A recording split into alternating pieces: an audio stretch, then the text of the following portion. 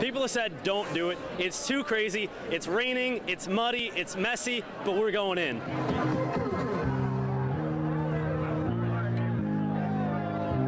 Rain fell all day.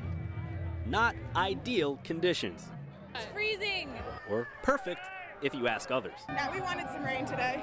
Mud plus lots of these turned into mud slides. You get a good Megan Murray's first derby. Cinco de Derby, I'm from Cleveland, Ohio. Vincent Morrissey ditched his seats for the infield. That's not where the fun is. Where's the fun? Dude, this is where the fun is. $1,000! Seersucker! Hey! As you can see, he got messy and took the plunge. Uh, unhygienic, but clearly a lot of fun. God bless America. Derbygoers need more than rain to stop the party. Martial law could stop this.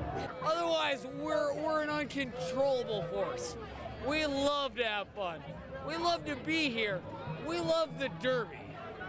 The infield is summer night Crazy!